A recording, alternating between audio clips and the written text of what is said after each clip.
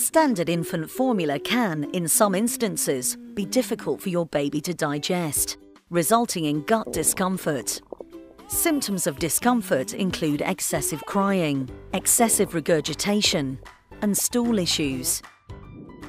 Discomfort issues can disrupt eating patterns, cause poor sleep, and poor parent-child relationships.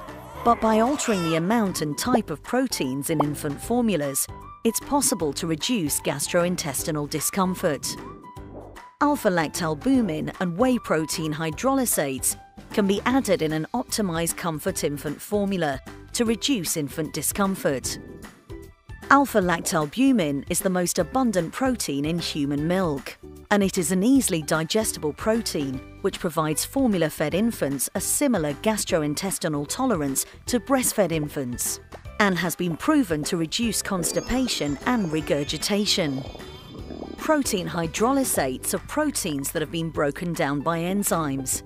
When added to infant formulas, whey hydrolysates have a beneficial effect to infants with colic and can also improve stool consistency.